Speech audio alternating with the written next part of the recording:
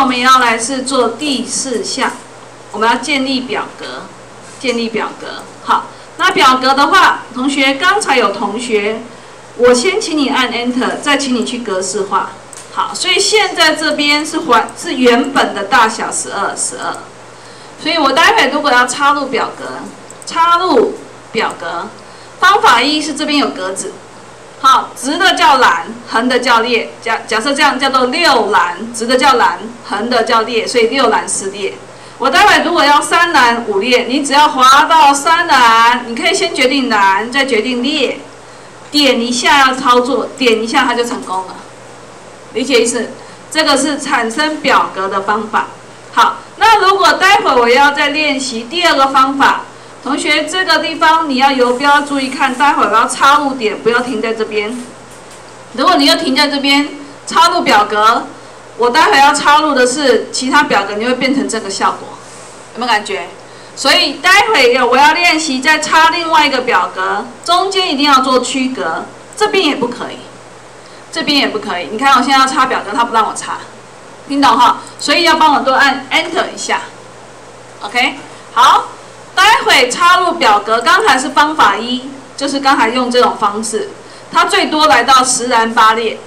假设待会我要练习的是插入其他栏列，好，那假设我故意练习好了，我待会要的是，假设我要五栏十二列，举例啦，五栏十二列，所以我点这个插入表格，点一下，啊，三栏十二列好了，三栏这边是五，所以我往下降可以变到三。假设我要十二列，因为我刚才说那边只有八列，我要十二列。这边请各位，你可以用这个箭头点，或是划选这个数字。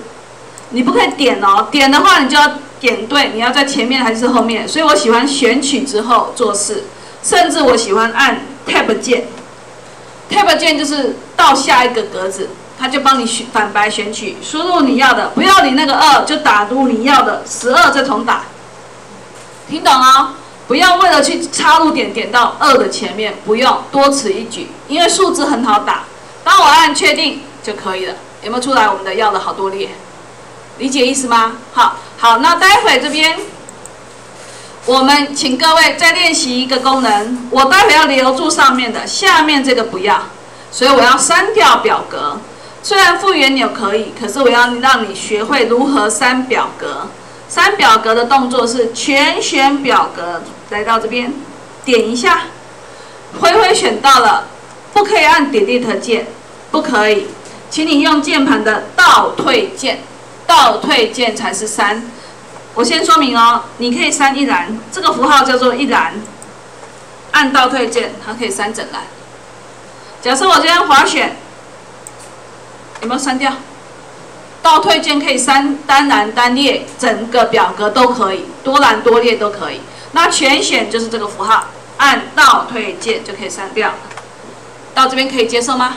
可以哈。好，那同学待会就帮我留住我们上方的那个。如果你要重新念，你可以整个划选。如果是这样，就不用就不用那个。如果你涵盖的是全选表格，如果你是涵盖上下有段落的，只要你选取按 Delete 键或倒落键就可以了。OK 吗？好，那这边我说明一下，如果你刚才，好，我现在先删掉哦。如果你刚才是后之前我叫你，哎，我先把我的名字改一下。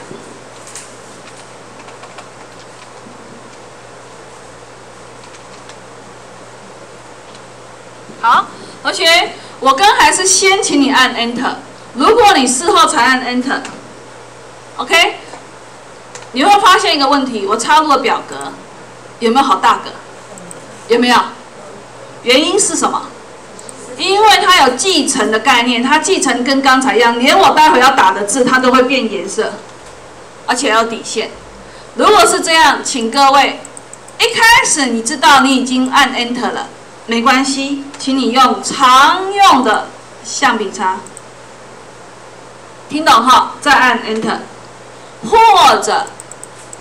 刚才的全选表格，好，我先按 Enter 哈，已经做了，才发现做错了。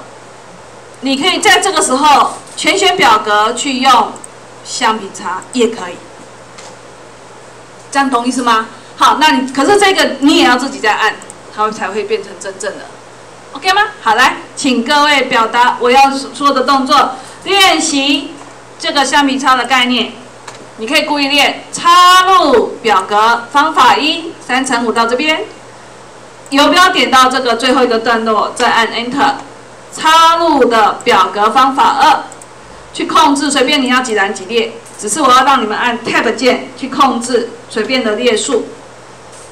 练习三，一栏倒退键，删除多列倒退键，删除全部表格点选按倒推键，这个要很会，OK 吗？好，来给你。